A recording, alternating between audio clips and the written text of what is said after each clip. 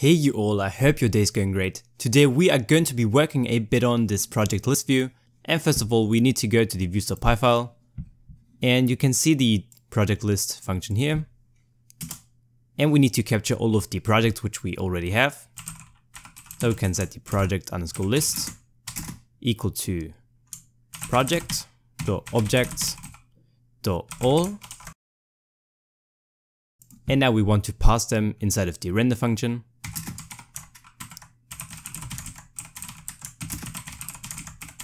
With this dictionary.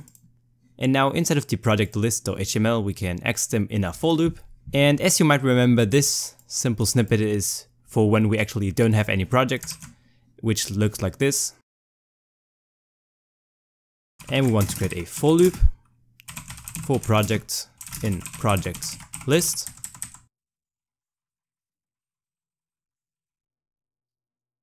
And for every project I would like to spit out some card panels and let's see what we could come up with. Create a row and then a column. I guess we'll make it a, now we can experiment with that, a small 12 and large 3.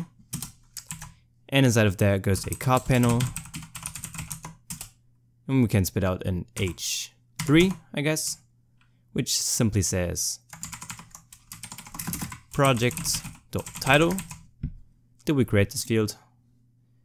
We actually call it name, so make sure it says name. And we of course want to run the for loop for every single column. So let's put that in here. And we also want to take care of the case that there of course are no projects and this is when this snippet is going to come in handy. And to do this we are going to simply use the empty tag right after the for loop, still inside of the for loop. And let's refresh. And we, you see that we have three of those.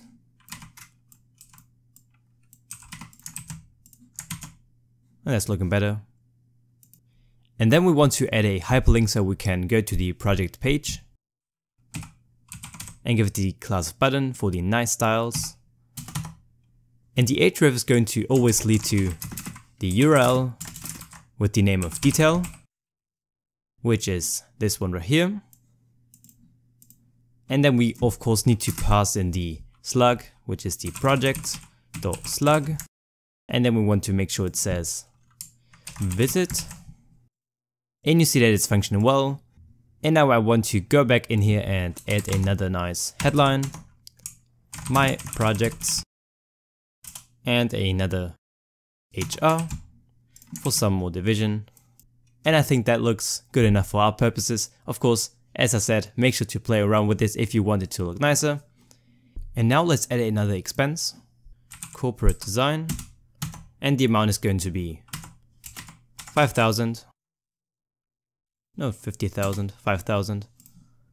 And for the expense model we want to declare the meta class and set the ordering equal to minus the amount and then make sure to add a comma afterwards because it's expecting either a tuple or a list and in this case it's going to be a tuple. And you see that we have our 5000 up here and our 1000 down below. Awesome, it's working. And one more thing that I recognize is that whenever we are hovering on this X, you see this cursor that's kind of weird and we wouldn't expect to be able to click on this specific thing. And to change that, we are simply going to go into the project detail.html first of all, and scroll down to where we have our close. Can simply perform a search for close. This one. And for the A, we want to add the class of close icon.